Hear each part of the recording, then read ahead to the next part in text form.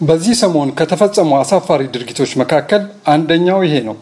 ግን ለምን? ባሳለፍነው ሰሞን በከፍተኛ ሁኔታ መነጋገሪያ ከነበሩ የ social media በተለይ ደግሞ የቲክቶክ ወሬዎች መካከል በኢቢኤስ የቤተሰብ ጨዋታ ፕሮግራም ላይ ነፃነት ወርቅነህ በቃኝ ሊባል የሚችል ነገር ጥቀሽ ሲላት ህይወት ብላ የመለሰችውን ኤማንዳ የተባለች የአስራ ሁለተኛ ክፍል ተማሪ ይመለከታል።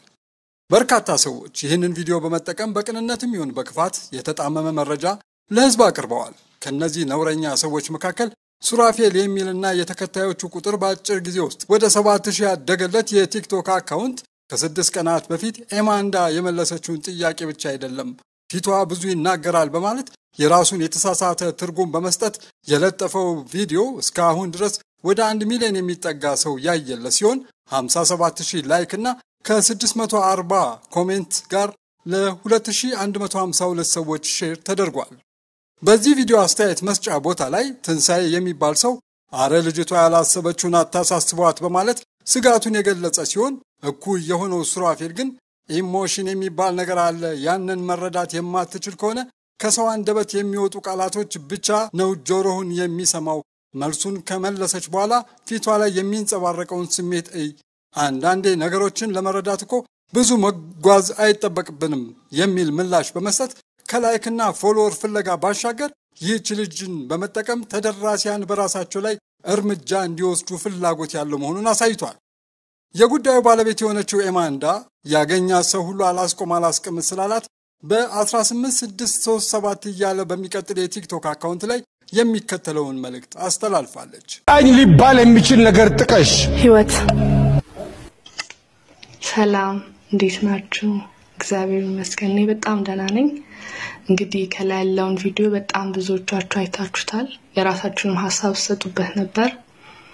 ነገር ግን የተረዳችሁበት መንገድ ልክ ነው ብዬ አላስብም። ምክንያቱም እኔ ለተጠየቅኩት ጥያቄ መልስ ይሆናል ብዬ ያሰብኩት እንጂ በሌላ አንግል ተረድቼው አልነበረም። ከአስር ሺህ ሰው ምናምን በላይ ይመስለኛል ሊዩት እያደረገ ራሱን እየሰራበት አይቻለሁ እና የተረዳችሁበት መንገድ ጭራሽ ልክ አይደለም። ራስን ማጥፋት ከዚህ ዓለም ለመሸሽ መሞከርም መፍትሄ ነው ብዬ አላስብም። ያላችሁበት ችግር መረዳት ባልችልም ይህ ግን መፍትሄ ሊሆን አይችልም። ሁሉም ማለፉ ላይ ቀር ለምን ይህን ነገር ስናገረው ሊቀል ይችላል፣ ግን ያልፋል። ትላንት አያልፍም ብላችሁ ያሰባችሁት በጣም ብዙ ያለፈ ነገር አለ። ዛሬም ከትላንቱ የተለየ ምንም ነገር የለውም እና ባካችሁ ይህን ቪዲዮ ደጋግማችሁ በመስራት ምንም ይለወጥ ነገር የለም። ከምታስቡት መጥፎ ነገር ጭራሽ negative energy ከመጨረስ ውጭ እና እባካችሁ ባሰሩበት ብዬ ለመምከር ያክል ነው። አመሰግናለሁ። እውነቱ ይሄ ሆኖ ሳለ ለ like ና follower ፍለጋ ተብሎ የተዛባ ቪዲዮ የተሰራባት ኤማንዳ ማህበራዊ ሚዲያ ላይ በስፋት ከተሰራጨባት ማንነት የተለየና እውነተኛ ማንነቷን የሚገልጽ ቪዲዮ በኢቢኤስ ቤተሰብ ጨዋታ አካላት ተላልፏል። ኤማንዳ ኤማንዳ ኤማንዳ ምንድን ነው የምትሰሪው? ተማሪ ነኝ። ስንተኛ ክፍል? አስራ ሁለት አስራ ሁለት ምን አቅደሻል? ምን መሆን ትፈልጊያለሽ? ተምረሽ lawyer ጠበቃ። ከዛ በፊት ምን ይሆናል? ከ lawyer በፊት ያው ትምህርቱ ይቀድማል። ትምህርቱ ይቀድማል። ከዛ በፊት ግን አቃቤ ሕግ የምትሆኝ ይመስለኛል፣ ወይ ዳኛ። ለምን በአንዴ ጠበቃ መሆን አይቻልማ። የትኛውም የማህበራዊ ሚዲያ መልእክት እንደ ይዘቱ በአጭር ጊዜ ውስጥ ለበርካቶች ከመዳረሱ አንጻር እርግማንና በረከት አለበት።